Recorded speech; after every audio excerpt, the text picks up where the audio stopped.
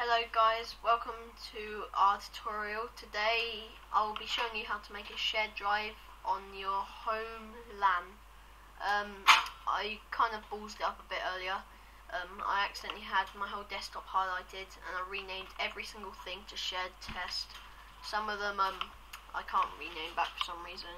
You see, um, if I tried to do it back it just comes up with that. So um, I'll sort that out later.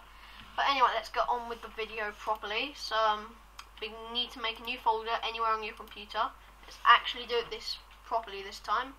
So I'm going to make it called shared test. There you go, that did it right that time. Uh, so we got our folder here. Now, so let nothing in the folder right now. I'm just going to make a new folder called test. Um, so what we want to do with this folder is um, right click properties, uh, then you want to go to sharing and click share. Now you want to let everyone, now this is where you can change it. I'm going to add everyone so anyone can access it in the house. You can add their certain um add their certain PC, like you got all the people on your um you, uh, LAN here. Um, I'm going to add everyone, so that's good. Um, it'll do all this. Go click done.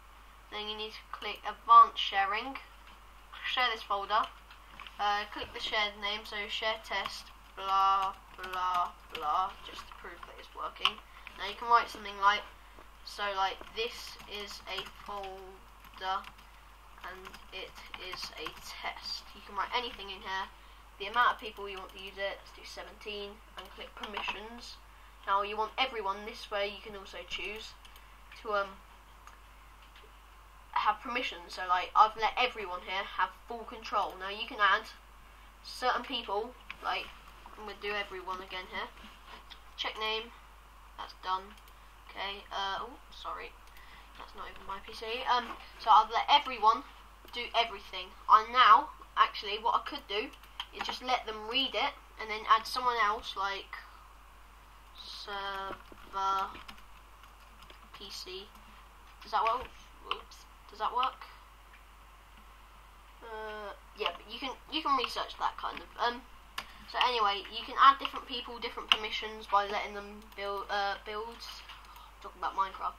Um, let them do stuff here. So you click apply, OK, apply, OK, and close. So now this is a shared folder. So what you want to do is go onto another computer. Um, I'll be on one in a minute. It'll be XP, so see you in a bit. Okay, sorry guys, um, I've just actually discovered that Bandicam won't want to work on my other PC, but I'm going to show you what you can do to make it work. So you want to go Start, click Computer. This is for Windows 7. I'll show you, I'll tell you what to do with Windows XP in a minute. Click Map Network Drive. Call it the letter you want, so let's just do J. And you browse and it will browse all the computers in your network. It's just doing that as we speak. Um, okay, so I've just waited a little while for that to um do it. So if you click on the PC, I mean look, there's a different one here. There's no shared drive on that. Um, so you got this here. Oh, go away. Uh, so you got shared test blah. Now this is all different stuff. This is my other shared drive. You click on that and click finish.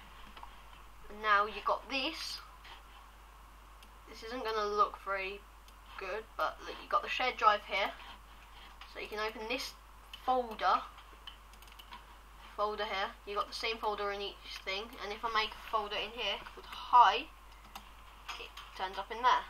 Now, I know it looks a bit fake, but really, if you did this on another computer, it will work. Um, in fact, let me just show you. I've got um, shared drive running on an oh, XP computer on my other window, so that's fine. An XP running, uh, so no, we don't want that one. I'm going to disconnect from that. So right click, disconnect, disconnect. Is my shared drive on? Ah, here we go. So, um, here we go. Um, so, um, so yeah, if I add something in here, it will come up on the other computer. This is from the other computer. It's my portable hard drive. So yeah, that's how to set up a shared folder. I'm now going to delete it. Continue. Um, so yeah, um, leave any comments in the description if you're stuck or something's not working as it was a bit quick and I know I didn't word it very well. But anyway, see ya.